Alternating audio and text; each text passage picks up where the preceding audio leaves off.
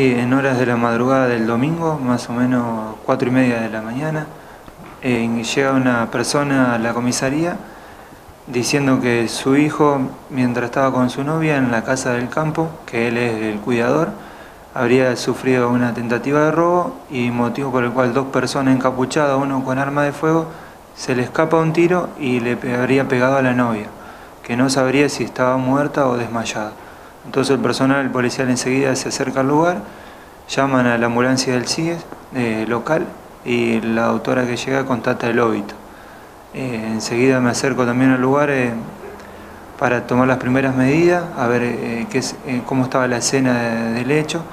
Dialogo con la persona que, se, que, sería la novia de la chica, a ver que me cuente cómo fue sucediendo todo al notar que no coincidían los dichos con cómo estaba la escena, cómo se veía en primera medida todo, em, tratamos de hablar un poco mejor con el muchacho, lo esposamos como medida preventiva y lo cargamos la unidad móvil.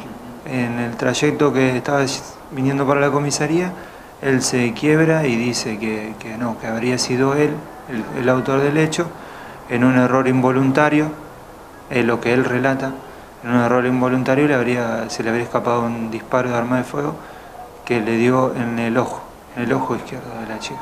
Sí. ¿Y mayor de edad esta persona? Mayor de edad, 18 años de edad, estaba teniendo un noviazgo de, corto tiempo, de meses, no estaban viviendo juntos, sino que estaban pasando la noche ahí.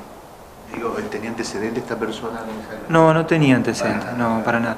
Juntamente con el menor, perdón, juntamente con el chico de 18 años, también se detuvo al hermano porque fue encubrimiento de, como encubrimiento del homicidio porque juntos escondieron el arma.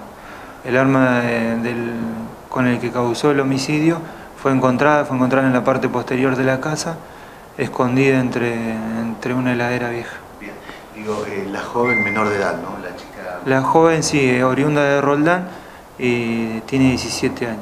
17 años. ¿El hecho caracterado entonces? Es, es homicidio doloso joven a disposición de la justicia, ¿no? El joven quedó detenido eh, a disposición de la justicia, en este momento no se encuentra en la comisaría, está alojado en otra dependencia.